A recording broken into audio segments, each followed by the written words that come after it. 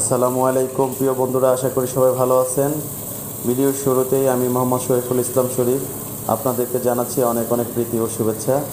বন্ধুরা, আজকে যে ভিডিওটি দেখতে পাচ্ছেন, সেটি হলো যে ট্যাঙ্ক কীভাবে তৈরি করা হয় বা ট্যাঙ্কের ভিতরের পরিবেশটা কীরকম থাকে ঠিক এই ব্যাপারটা নিয়ে আজকের ভিডিওটা করা।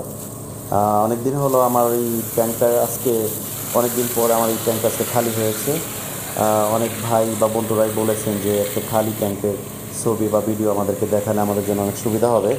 তো আজকে সময় পেলাম যেহেতু ট্যাঙ্কের মাছ বিক্রি হয়েছে, তাই ভিডিওটা করে ফেললাম। যাই হোক বন্ধুরা, দেখতে পাচ্ছেন যে দুটো পোস্ট দেখতে পাচ্ছেন, এবং দেখতে পাচ্ছেন যে চতুর্পাশ থেকে যে ঢালু হয়ে আসছে, মাঝখানের জায়গাটা একটু এক্সট্রা করে নিচু।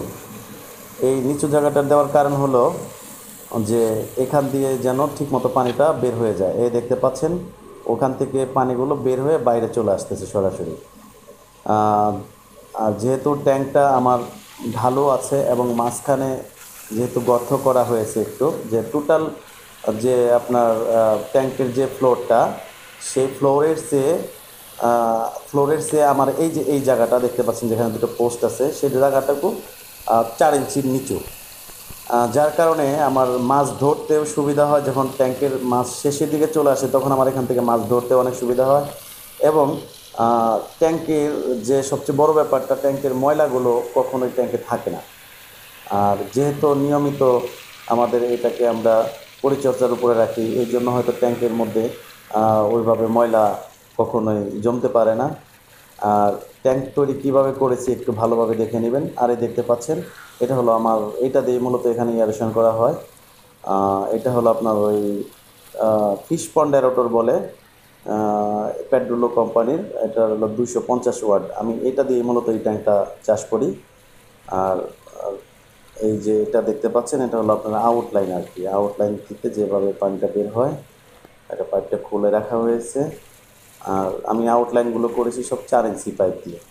আর চার ইঞ্চি পাইপ দিয়ে করলে যে সুবিধাটা, সেটা হলো যে আপনার ট্যাঙ্কের পানিগুলো অনেক দ্রুত বের হয়ে যায় এবং খুব তাড়াতাড়ি ক্লিন করা যায় বা পানি চেঞ্জ করার সময় খুব দ্রুত বের হয়ে যায়। তো সেক্ষেত্রে চার ইঞ্চি পাইপ দিয়ে করাটাই ভালো আমি মনে করি। যাই হোক বন্ধুরা, আমি ঘুরে ঘুরে দেখানোর চেষ্টা করছি। আপনাকে ভালোভাবে দেখে নেবেন। আর এই ট্যাঙ্কগুলো তো আমার আগে অনেকবার দেখেছেন। এগুলো আমার ছোট কিছু ট্যাঙ্ক আছে, এখান থেকে আমি মাছ সেল করার আগে এখানে রাখি। আর এটা আমার যে রেসে, যে ইয়াটা ট্যাঙ্কটা আছে সেটা হলো এক লক্ষ চব্বিশ হাজার লিটার ওই ট্যাঙ্কটা আর কি। যাই হোক, আর এই সমস্ত ট্যাঙ্কগুলো আমার প্রত্যেকটা ট্যাঙ্ক সাতাশ হাজার লিটার করে ক্যাপাসিটি তো এই হলো অবস্থা সর্বোপরি। দেখতেই পাচ্ছেন, ট্যাঙ্ক ক্লিন করা হচ্ছে। আপনার ভালোভাবে লক্ষ্য করে দেখবেন। ট্যাঙ্কটা কীভাবে ঢালো? কোন দিক থেকে ঢালো? কীভাবে এসেছে? তো আপনারা এটা ভালোভাবে একটু দেখে নেবেন। তাহলে হয়তো আপনাদের উপকারে আসতে পারে। যাই হোক, আমি চেষ্টা করেছি ভিডিওটি যেভাবে ভালোভাবে করা যায়। আর প্রফেশনাল যেহেতু প্রফেশনাল ফটোগ্রাফার বা ভিডিওগ্রাফার কিছুই না আমি, তারপরেও জাস্ট মোবাইল দিয়ে চেষ্টা করেছি আপনাদেরকে একটু দেখানোর জন্য। দুটো ওই যে দুটো পোস্ট দেখতে পাচ্ছেন ওই দুটো পোস্ট হলো আপনার ছোট ছোট ছিদ্র করা ওইখান থেকে মূলত পানিগুলো বের হয়ে যায় আর কি। তো যাই হোক এই যে পোস্ট খুলে দেওয়া হলো পোস্টগুলোকে এখন ক্লিন করা হবে। পোস্টের ভিতরে কিন্তু প্রচুর ময়লা জমে বন্ধুরা। দেখবেন যে ওই দেখেন অনেক অনেক অনেক ময়লা পানি বের হচ্ছে।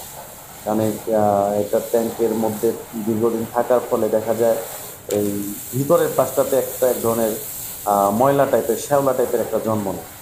তো ওইটা অনেক সময় দেখা যায় যে ভিতর থেকে পানি ট্যাঙ্কের ভিতর থেকে পানি বের হতে গেলে ইয়ে অনেক সময় এটা বাধার সৃষ্টি করে। তাই চেষ্টা করবেন পনেরো দিন বা বিশ দিন বা এক মাস পর পর এই পাইপগুলোকে তুলে ক্লিন করে দেওয়ার জন্য। আর এই পাইপটা হলো আমার তিন ফিট একটা এবং সাড়ে তিন ফিট একটা। যাই হোক পাইপ যে সাইজের ছিল সেই সাইজের বানানো হয়েছে মূলত। তো এই হলো অবস্থা। আমি একটু ক্লোজ করে দেখানোর চেষ্টা করতেছি। এই দেখেন, পানিগুলো কি সুন্দর হয়ে বের হয়ে যাচ্ছে। কারণ নিচে ঢালু থাকার কারণে পানিগুলো আর ওখানে জমতে পারতেছে না। তাই পানিগুলো অনেক সুন্দর এবং দ্রুত গতিতে বের হয়ে যাচ্ছে। তো ঠিক এইভাবেই আমাদের যখন ওই এয়ারেশন চলে এয়ারেশন চলার সময় পানিতে একটা কম্পন তৈরি হয়, তখন ঠিক ময়লাগুলো এভাবে বের হয়ে যায়। এইভাবে ঘুরে ঘুরে ময়লাগুলো সব মাঝখানে চলে আসে। এই যে আমি পাইপটাকে কাছে থেকে দেখানোর চেষ্টা করতেছি। বন্ধুরা দেখেন পাইপটা আমি কীভাবে তৈরি করেছি। দেখতেই পাচ্ছেন অসংখ্য ছিদ্র আছে।